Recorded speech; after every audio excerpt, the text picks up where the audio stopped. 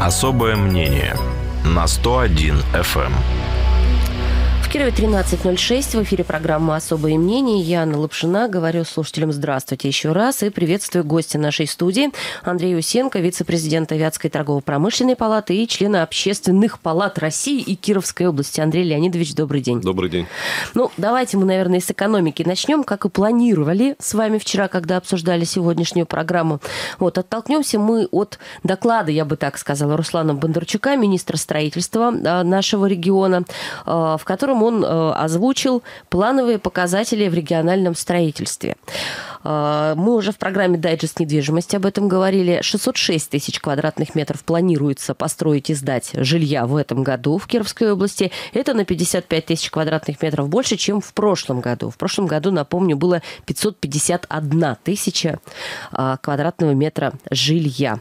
И вот, честно говоря, мне, как человеку от экономики, от экономики немножко далекому, странно вот это вот. То есть, одной стороны, называется показатель 660 тысяч квадратных метров, с другой стороны, в том же докладе озвучивается информация, что до 40% площадей, построенных нашими э, застройщиками, сейчас не продано, они не могут их реализовать.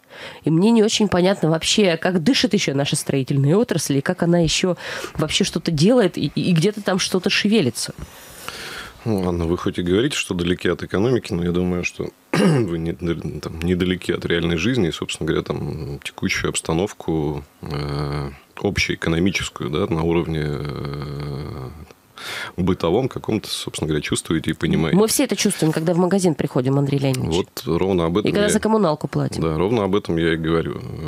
Там даже официальная статистика говорит о том, что реальные денежные доходы населения снижаются уже 5 лет подряд, и снижение произошло за этот срок там порядка 20% реальных не номинальных, а реальных. При этом, э, опять же, надо понимать, что за этот же срок значительно вырос уровень, там, ну, так скажем, обязательных платежей, там, той, той же коммуналки, тех же продуктов питания. Поэтому свободных денежных средств, в принципе, денег у людей меньше. И свободных денежных средств еще меньше становится. Поэтому достаточно э, закономерной выглядит ситуация с э, непроданными объемами жилья уже построенного. Э, и действительно много вопросов вызывает там, плановые показатели, которые на самом деле сгенерированы не нашим Минстроем, угу. а возникли в соответствии с национальным проектом который, собственно говоря, с 19 по 24 год реализуется в стране. И Это по... вот та цифра про 120 э, миллионов, 120 миллионов квадратных, квадратных метров, метров в год стране, к 2024 год, году. Да, которые мы должны строить. И э, как в, во всех остальных национальных проектах, эта цифра в конкретных показателях распределена по годам и по регионам. И, собственно говоря, до регионов доведена для того, чтобы А, то есть собрать... это сверху спущена цифра нам? Ну, по факту, да. Мы же понимаем, что чтобы собрать 120 миллионов там, в год по стране, надо, чтобы каждый регион там, со своими задачами справлялся примерно пропорционально тому э, количеству населения, э, которое там, проживает в этом регионе. А, конечно, много вопросов возникает, потому что одновременная постановка задачи на 10% увеличение объемов по сравнению с прошлым годом и серьезнейшие изменения, которые в этом году предстоят в строительной отрасли, переход на эскроу счета угу. от э, долевого финансирования, э, переход на принцип «одна стройка, одно юрлицо», э, рост ставок по ипотеке. Ну, действительно вызывает большие сомнения. Причем э, сомнения это ведь не только у нас. Уже и министр строительства Российской Федерации, собственно говоря, сказал о том, что невыполнимы при, эти показатели. При, при тех условиях, которые мы имеем, данные показатели выполнить невозможно. Потому что большой объем жилья свободного, не, не распроданного находится на рынке уже. И ввод еще большего количества жилья приведет к э, достаточно понятным последствиям. Конечно, можно напрячься и эти планы выполнить. Но дальше... построить-то мы построим, а дальше да, что? дальше что последует? Их будет невозможно продать. Это, соответственно, либо банкротство компаний-застройщиков, либо резкий демпинг, что, в общем, тоже никаким положительным результатом не приведет. И я все-таки надеюсь на то, что э, позиция Федерального министерства строительства будет услышана. Потому что ставить только план там, на 120 миллионов э, в год, не давая э, механизмов или не давая возможностей э, это не только построить, но и приобрести, это тупиковая история. Если так. бы государство совместно с этим там, ввело действительно по-настоящему льготные ипотечные кредиты, не для отдельных категорий, а для угу. целом граждан, там, под 5-6%, несомненно, рынок оживился бы и люди выкупили бы этот объем жилья. В тех условиях, в которых находимся сейчас, ну, маловероятно. То есть выкупили бы, несмотря даже на то, что падают доходы? С такими ставками, да, потому что... Жить все равно где-то надо. А, несомненно, во-первых. Во-вторых, мы с вами знаем, что, несмотря на падение доходов, общий объем, например, средств на счетах в банках, угу. частных вкладов, там, превышая, ну, сопоставим с объемом ВВП, да, там, если я помню правильно, там порядка 30 триллионов, что ли, что ну, какие-то огромные цифры находятся у людей на счетах в банках. То есть люди откладывают на черный день, а, они тратят? Это да, конечно, потому что люди не имеют понимания о том, что произойдет завтра. А, непредсказуема там, экономическая ситуация и возможные там, социальные последствия, поэтому уровень накопления очень большой. И, к сожалению, это ведь тоже большая проблема государства в том, что эти накопления в экономической жизни страны никак не задействованы. То есть они просто лежат и не работают? Да, различные инструменты появляются, они, они лежат, они работают на банке по факту, угу. потому что э, там, клиент банка имеет э, доход по счету там, порядка, там, ну, дай бог, чтобы там, 8%, процентов, да, при этом банки кредитуют, мы сами знаем, там, ну, 15 в среднем, если, да, и вот этот маржинальный доход, он весь уходит банку, и если вы там видели статистику, то, например, э, доход, прибыль, прибыль Сбербанка по прошлому году составила, знаете, сколько? Нет, я не помню просто цифр. 800... Я понимаю, что там астрономические 8... какие-то вещи. 800 миллиардов рублей. 800 миллиардов – это прибыль Сбербанка чистая. Угу. Это 10 бюджетов Кировской области. Это прибыль банка, и, собственно говоря, отсюда она и возникает. Дальше вопрос, куда она э, девается – куда она используется. Но эти деньги э, зарабатывают банки, э, деньги лежат там. Если люди получат возможность эти деньги э, инвестировать, как это сейчас делается с индивидуальными инвестиционными счетами, когда люди начинают инвестировать в акции, облигации, угу. и сейчас этот процесс идет. Если появится возможность инвестиций в строительные объекты, э, ведь в, исторически в России сложилось так, что недвижимость рассматривается в, как, собственно говоря, два основных два основных э, механизма. Да? Первый – это, собственно говоря, для проживания, а второй – это как вложение средств. И если дать такую возможность людям, я уверен, что они э, определенную часть своих накоплений переложат сюда при нормальных условиях. И это действительно тот ресурс, который государство могло бы задействовать. Ну вот подождите, все-таки 5-6% ставка по ипотеке – это что-то вообще нереальное, потому что даже Путин не обещает такого. Даже Путин не обещает 5-6%, то есть говорится, ну, 8%. Вот об этом говорится. Ну, ну, ниже 8%, но про 5 никто не говорит. Я понимаю, но мне кажется, есть некий психологический э, психологический барьер, угу. да, э, или какой-то вот психологический уровень, ниже которого люди ну, начнут э, вкладывать средства массово. 8% таким барьером мне, честно говоря, не представляется, потому что, понимая дополнительные расходы, связанные с приобретением, с недвижимостью, ее содержанием и всем остальным, мы понимаем, что это... Это не 8%, общем, несколько, это дор- больше. несколько дороже выходит, да. А, там 5-6% мне представляется тем барьером, которые вот действительно смогли бы сориентировать и смотивировать граждан на вложение в недвижимость. Ну, вот это хорошее дело, но если этого не случится в ближайшие годы, можем ли мы прогноз дать, что будет со строительной отраслью в Кирове и в России в целом? Ну вот 8%. Вчера Греф говорил про 8% в следующем году. И Набиулина, по-моему, тоже говорила о том, что вроде как выходит из стагнации ипотечная вся вот эта наша история, и тоже вроде как начинается оживляж, и э, должно вроде как все заработать. Но именно такая цифра звучала, 8%. Ну, честно говоря, я думаю, что 8% возникнет только в случае, если будет принято некое волевое там, административное решение, и банки заставят это сделать. В противном угу. случае сами банки на такую ставку не пойдут. Надо сейчас, сейчас почти 10%. Да, надо понимать, что есть ставка Центробанка, там, и никто из банков там ниже не пойдет. То есть только если это будет некая там госпрограмма, опять же, субсидирование. Если посчитать в объемах страны и взять ту же прибыль там, Сбербанка, ну, вот так вот. А это, я напомню, там банк с государственным участием более чем в 50%, то, в общем, если всю эту прибыль реинвестировать по факту, а, в то же самое субсидирование процентов, мы получим замечательную историю там, кратного расширения ипотечного портфеля – и банк отобьет эти деньги в итоге, а, но при этом но при этом деньги будут работать. Но при этом мультипликативный эффект с точки зрения расширения объемов, увеличения объемов строительства, доступности жилья для граждан будет там грандиозным. А если нет? Ну, если нет, то я боюсь, что если не изменятся те условия, те, э, которые существуют сейчас, и те, по которым отрасль будет э, жить с 1 июля, После а, того, как закон вот это о долевом строительстве... Да, да, прекратит свое угу. действие. Более того, напомню, что сейчас э, до сих пор все-таки не принято предложение о том, что те объекты, которые были начаты до 1 июля, будут иметь возможность по старым правилам. по старым правилам, да. До сих пор не принято, Законод... ведь обещали. Ну, вот законодатель все еще там э, до конца не определился с точки зрения того, как будут действовать строительные компании. И на данный момент, насколько мне известно, да, там э, есть риски того, что там квартиры не проданные по долевым договорам э, в объектах, начатых до 1 июля, необходимо будет оформлять по договорам как раз из счетов. Это, в общем, муторная достаточно будет процедура. На данный момент, напомню, там в Кирове, опять же, насколько я знаю, два банка всего аккредитованы по ведению искровых счетов. Это, Это что за банки? Сбербанк и ВТБ. Угу. Федеральные игроки. Да, конечно. Угу. И, опять же, там наши местные... Вот странная история, да? Местные банки лучше гораздо знают рынок, лучше гораздо знают застройщиков, там потенциальный спрос, э, объекты, но при этом не получают такого права.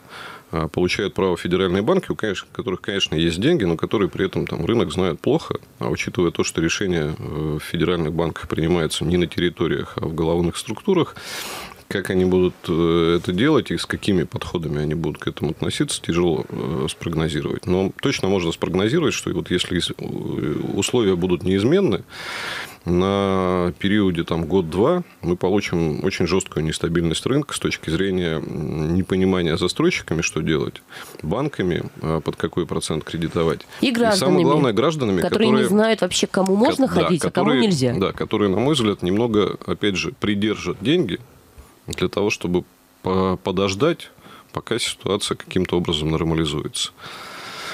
В общем, непростые времена, мне кажется, нас ждут на строительном рынке. И говорить в данном контексте о там, 10% росте если К концу все, года. Да, если в 2018 году мы этот рост по факту э, достигли только за счет индивидуального жилья, напомню, да, что многоквартирные дома по вводу Просели. сократились, то я думаю, что эту тенденцию переломить будет очень сложно. Андрей Усенко, вице-президент Вятской торгово-промышленной палаты в нашей студии. У нас полминуты перерыв, и мы вернемся. Особое мнение на 101 FM. Андрей Усенко в нашей студии, вице-президент Вятской торгово-промышленной палаты, член общественных палат России и Кировской области. Но мы еще немножечко про экономику поговорим. А, я прошу прощения. А, вот строительная отрасль, о которой мы говорили в начале, да, а, она тесно связана с ситуацией в экономике в целом. Если у нас в экономике в целом все так прекрасно, как нам рассказал недавно Росстат, я не понимаю, почему в строительной отрасли такие проблемы и почему у людей нет денег на то, чтобы выкупить 40% непроданных квартир в кировских новостройках. Я напомню, да, по данным Росстата, рост ВВП по итогам прошлого года 2,3%. То есть плановый показатель 1,8. Э, э, я насколько вот вспоминаю тогда экспертные статьи в «Ведомостях», еще где-то, даже Максим Орешкин, министр экономического развития, удивился очень причем и сказал, не, мы такого не ожидали. Ну, я думаю, что удивление министра было... Наигранным? Э, ну, не то, что наигранным, а, а с, спланированным, так скажем. Да. Напомню, что в прошлом году, собственно говоря, из недр Минэкономразвития и возник новый руководитель Росстата Угу. За несколько там, за некоторое время до Нового года поменяли руководителя Росстата, и э, руководителем стал как раз один из э, сотрудников Минэкономразвития. Один из коллег Максима Орешкина. Да, один из подчиненных даже, я бы угу. так сказал. А, но, смотрите, действительно интересно. Он говорил, э, Орешкин, между прочим, ведомостям говорил, что они с Росстатом никак не согласуют и цифрами не обмениваются до итоговых результатов, до публикования. Ну, мы, мы, говорит, не знаем, что они там делают. Ну, вы предлагаете поверить? Да, я вот, знаете, я думаю, если министр публично уважаемому изданию говорит, ну, наверное, можно верить, нет? Ну, наверное, потому что Минэкономразвитие делает прогнозы, а Росстат делает э, И итоговый оценку. подбивает, да, результат. Ну, нам- напомню, они же объяснили это как раз ростом, в первую очередь, строительной отрасли в Российской Федерации более чем на 5%, что и сказалось на итоговом показателе. Но дальше дали пояснение, что этот рост э, практически весь вызван вводом крупнейших объектов Крымского моста, Инфраструктурных. Инфраструктурных и по-моему, газопровода частично а, с многомиллиардными долларовыми э, вливаниями. И, конечно, если это там учесть как э, некий показатель экономический, то он начинает серьезно влиять. Может быть, такую цифру и можно вывести. Но мы же понимаем, что это имеет достаточно локальный э, характер, во-первых. Во-вторых, э, разовый характер. Это достаточно сложная история с точки зрения того, что когда ты строишь большой объект, э, ты привлекаешь подрядчиков, рабочую силу, технику и все остальное, оплачиваешь все это в больших объемах, все замечательно. А если после этого таких объектов нет, то, к сожалению, вся эта, весь этот экономический там, и технический потенциал пропадает. Вот. Появятся ли такие объекты еще? Ну, большой вопрос. Что будет с э, показателями роста, учитывая эффект базы там, в 2019 году? Большой вопрос, хотя я думаю, что здесь, опять же, там Росстат посчитает э, вложения в рамках национальных проектов, которые с 2019 года запускаются по целому ряду там, отраслей, и, в общем, тоже выйдет на приемлемые цифры. Другой вопрос, что как, с чего мы с вами начали программу, да? ощущаем ли это мы, когда это там доходит до нас, и насколько это влияет на нашу жизнь. Пока у нас идет, ну, на мой взгляд, такой там... Мне кажется, мы в обратную сторону ощущаем. То есть Ну, все россияне почувствовали ну. на себе вложение в строительство моста в Крым. Э, с- Ну, скорее всего, да, с учетом того, что у них денег стало меньше, да. Да. да. Печально. Ну, э, Ну, то есть получается, что та картинка, которая в телевизоре, и те люди, которые в телевизоре нам говорят о том, что мы стали жить лучше, они не врут. Они-то действительно там основываются на каких-то цифрах, на каких-то показателях, и они действительно понимают, что мы стали жить лучше. А люди рядовые этого не чувствуют на ну, себе. никто ведь не говорит, что мы стали жить лучше, да. Вопрос э, там роста валового внутреннего продукта напрямую с благосостоянием, ну, вот прямо прямой связи с благосостоянием граждан там не связан, да. Можно в э, там полбюджета вложить в ВПК, и, наверное, там повысятся зарплаты там, частично сотрудников. Но, в, общем, В отрасли. да, на, на всей стране это не скажется.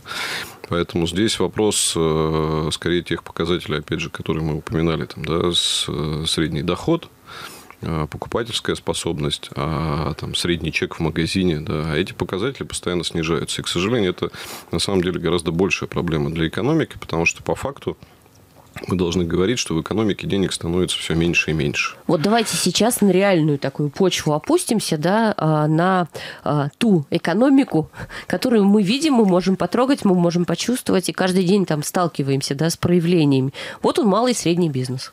Малый и средний бизнес. Один, между прочим, из национальных приоритетных там проектов, можно по-разному называть, а, где, где тоже там какие-то вот заоблачные, как мне кажется, показатели поставлены Путиным и, и прочее. И, и- и я, честно говоря, пока не вижу, за счет чего у нас будет расти малый и средний бизнес. В приказном порядке точно так же вот, ну, не будут создаваться малые предприятия, если людям невыгодно этим заниматься. Если невыгодно, и если нет тех условий, в которых, собственно говоря, он может развиваться, конечно, этого не произойдет. А давайте, Андрей Леонидович, напомним, вот показатели национальные по приоритетному проекту, они каковы? А, Насколько я помню, там э, на 7% рост числа занятых. Э, В, пред- пред- в предприятиях этого сектора, да? да, вот? да, Мгм. в сегменте малого и среднего предпринимательства. Там большой рост заложен на экспортный потенциал. И по... Ну, смотрите, я сейчас по федеральному проекту боюсь ошибиться Давайте и по дезинформировать. Кировской Давайте области. по региональному да, проекту пройдемся. То есть у нас э, за 5 лет с 19 по 24 год должно на 4 тысячи увеличиться количество субъектов малого и среднего предпринимательства. То есть всего на 4 тысячи за 5 лет или каждый год на 4 Нет, тысячи? всего на 4 всего тысячи. На 4 но тысячи. с учетом угу. того, что у нас э, в реестре их находится чуть более 50 тысяч, да, то есть мы ведем речь о 10%. Угу. А, во-первых, а во-вторых, надо понимать, что если у нас с вами по прошлому году показатель минус тысяча, динамика, да, то есть снизилась на тысячу, то, в общем, перебороть, перебороть эту тенденцию и выйти на результат по факту там плюс 800 в год, это серьезный вызов. Очень серьезный вызов, не менее серьезный, чем в строительстве, как мне кажется. Причем это, опять же, там взаимосвязанные отрасли, да, там, если начнет ухудшаться ситуация в строительстве, в первую очередь выпадать-то будут как раз там малые и средние предприятия и субподрядчики. Плюс 140 предприятий экспортеров, за эти же пять лет, то есть тех, кто начнет экспортировать свою продукцию. И, по-моему, плюс 6 или 7 тысяч занятых в этом сегменте. А сейчас их сколько? Я сейчас абсолютную цифру не назову. Нет, нет, порядок цифры хотя ну, бы. Порядка 25% от трудоспособного населения у нас там. Но цифры, цифры серьезные, угу. большие. И, конечно, я понимаю, что есть определенный расчет на то, что количество занятых возрастет за счет инструмента, который сейчас реализуется в пилотных территориях, а с 2020 года будет распространен на всю страну. Это так называемый термин самозанятые. Да. Напомню, это очень упрощенный э, налоговый режим. Его даже налоговым назвать нельзя, это проще, чем патент. То есть, по факту, если ты работаешь сам на себя в определенных отраслях, э, например, там, репетитор, или сдаешь квартиру, или э, там, таксистом работаешь. У тебя нет наемных работников? У тебя нет наемных работников, у тебя там есть ограничения по обороту, все очень просто. Ты даже не ходишь в налоговую инспекцию, ты ставишь себе специальное приложение на телефон, через него регистрируешься в налоговой инспекции, заносишь туда, фиксируешь, собственно говоря, доходы, расходы и уплачиваешь 4% от оборота в случае, если ты работаешь с физлицами, угу. и 6% в случае, если ты работаешь с юридическими лицами. Все. Без личных визитов, без, абсолютно без чего-либо. С 2020 а, года в Кировской области? Ну, предполагается с 2020 года распространить на всю территорию страны. Сейчас идет пилотная реализация Москва, Татарстан, Калуга, насколько я помню. Угу. Ну, пока результаты пилотного проекта достаточно скромные. Сказать, что люди массово там поверили и начали выходить вот в этот режим, пока пока нельзя. Ну, вообще не очень понятно. Люди вообще не платили ни 4%, ни 6%. Многие. Ну, это действительно так, но... И они сейчас не понимают, с чего вдруг они должны начать платить. Ну, начать платить ну, здесь... Нет, мы не призываем не платить налоги. Поймите нас правильно, пожалуйста. А, да, мы совершенно мы призываем наоборот к обратному. А, дело в том, что конкурентоспособный и э, действительно там, развивающаяся экономика может быть только в том случае, если все находятся в правовом поле. В, в правом поле в одинаковых правилах игры. Потому что когда одно предприятие работает в белую, другое там в серую или в черную, понятно, что эти перекосы э, приводят к меньшему развитию экономики обоих предприятий, угу. нежели чем они работали бы в равных, в равных условиях. Поэтому надо понимать, что государство и ФНС в частности ну, на мой взгляд, вообще семимильными шагами по сравнению с остальными ведомствами идет к тому, чтобы э, мониторить, не скажу контролировать, скажу мониторить э, всю нашу деятельность, всю нашу жизнедеятельность с точки зрения проходящих финансовых потоков. Уже сейчас, по оценкам экспертов, до 70% финансовых потоков, проходящих в стране, ФНС контролирует. А осталось 30, и по поставленной ими задаче... 20... Я правильно понимаю, что вот 30, которые осталось, это то, что идет налом? ну, вот условно кэшем, да? То, что идет налом, Наличкой. то, что идет между физлицами. Угу. ФНС пока сейчас не имеет права контролировать э, там, банковские переводы, например, да, но уже внесен законопроект, по которому без решения суда ФНС может эту информацию получать. И поэтому наши переводы между там, с карты на карту. С карты на карту, с телефона на телефон, они тоже станут там, прозрачные, открыты, видны налоговой. Как они будут к ним относиться? Сначала, думаю, что будут изучать, а потом будут... Задавать вопросы. Будут формировать правила по которым, собственно говоря, мы будем жить. Вся, вся продукция планируется там, включить в проект маркировки. Напомню, к 2025 году Медведев вообще озвучил, что вся продукция должна маркироваться. Тоже последовательно вся эта история развивается. Государство будет мониторить все. Вспомните Оруэлла, 1984, большой брат. А, уж с точки зрения фискальной это будет однозначно. Так, вот давайте к самозанятым все-таки вернемся. То есть вы говорите, что есть небольшая надежда, что вот эта категория граждан каким-то образом поддержит статистику. Да, она войдет в категорию малое, и среднее, среднее предпринимательство, предпринимательство, собственно говоря. Угу.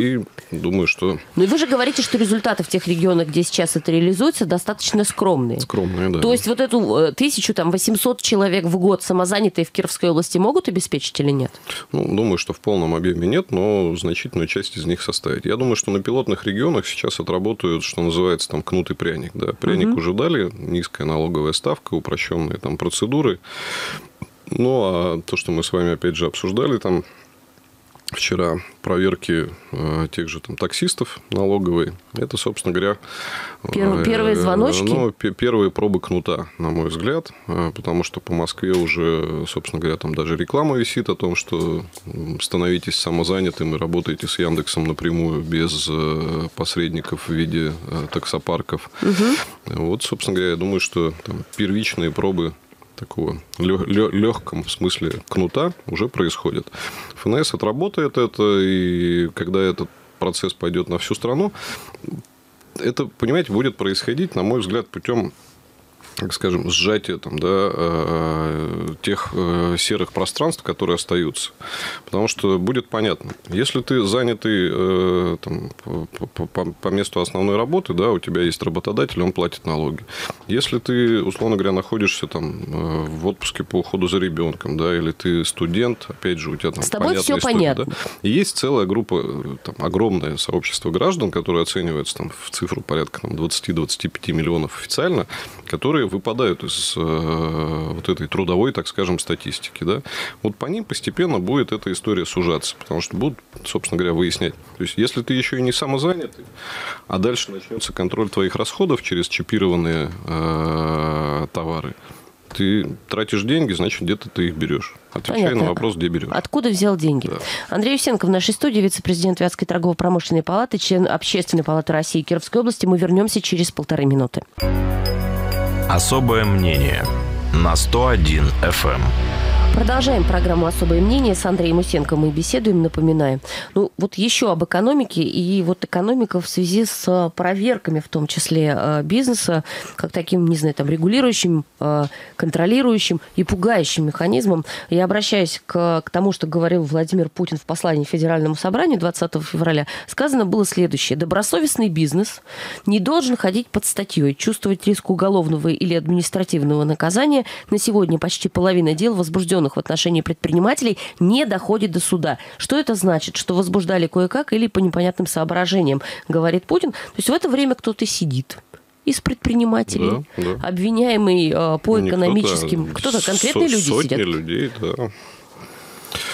Это вот, вот это заявление, это голословные какие-то вещи? Или мы можем э, сказать, что будут сделаны какие-то выводы соответствующими органами и действительно э, будут пересмотрены, ну, в том числе подходы там, к продлению арестов и прочего? Мы ну, давно об этом говорим, Андрей деле, Леонидович, что люди по экономическим статьям обвиняемые не должны до приговора находиться в местах лишения свободы. Ну вот поэтому, собственно говоря, очень хотелось бы поверить, что в этот раз там президента соответствующие структуры услышат, услышат и воспримут это как некую там, государственную позицию, да, потому что мы действительно об этом говорим давно, и эти истории давно тянутся. Более того, в определенный момент времени там, мы знаем с вами, что само государство с точки зрения, так скажем, там, выстраивания отношений с бизнесом прибегала к этим способам для того, чтобы ну, переломить ситуацию и показать, что теперь э, несколько иные правила игры действуют. Вот теперь надо э, все-таки возвращаться в абсолютно правовое поле, и надо понимать, что э, в большинстве случаев ущерб э, якобы там, да, некий там, абстрактный ущерб, о котором пока еще говорится в рамках следствия, явно несоразмерен тем, э, там, тем мерам, которые принимаются по отношению к предпринимателям. Еще не выяснено, собственно говоря, не состоялось решение суда, нет даже предварительных выводов следствия, а человек все равно уже вынужден находиться в местах там, заключения. Более того, мы понимаем, что это зачастую приводит, собственно говоря, к потере э, и разорению того бизнеса, который есть. А следовательно, государство теряет налоги, которые этот бизнес мог платить. Абсолютно верно. Ну, здесь целый ряд факторов начинает играть. Государство теряет налоги конкретно с этого бизнеса. Люди остальной, теряют рабочие места. Да, остальной бизнес начинает смотреть на то, что происходит, и начинает как бы понимать, что и с ним это может произойти. Те, кто хотел бы заняться бизнесом, смотрят на это и понимают, думают, а, Нет, а спасибо, надо ли оно не хочу. мне. Угу. Да, то есть это вот такая странная история, когда, с одной стороны, государство, там, то, что мы с вами говорили, э, с целью нацпроекта ставит там, э, значительное увеличение доли малого и среднего предпринимательства в стране, а с другой стороны, применяет там, жесткие карательные меры к тем, кто еще даже по факту, там, ну, ни, ни, чья вина не подтверждена. Да? Поэтому очень хотелось бы верить, что ну, в этот раз в столь жесткой там, формулировке президента это уже будет услышано. И хотелось бы увидеть, чтобы это, э, ну, скажем так, было оформлено в виде неких уже законодательных решений, да, а не только как там государственная позиция, выраженная на высшем уровне, потому что мы понимаем, что в основном все это происходит на местах. Вот. Э, ну, в послании вообще сказано несколько важных вещей с точки зрения бизнеса, хотя в большей степени там послание было, носило такой социальный характер. Угу. Да. Э, интересное поручение, которое возникло по итогам послания и было озвучено в нем, это там за два года пересмотреть всю нормативно-правовую базу в отношении проверок бизнеса. Ну, это Э, это даже не гигантский, это просто какой-то будет неимоверный, нереальный неимоверный объем. объем работы, который надо за крайне сжатые сроки проделать, потому что президент действительно сказал, что многие нормативные акты, там, как он сказал, действуют со времен покорения Крыма, да, э, и это действительно так. Во многих случаях там мы руководствуемся там, Мы руководствуемся базой документами, которые были приняты в тот момент, когда понятие такого, как частный бизнес-то еще да, не существовало. Да, поэтому...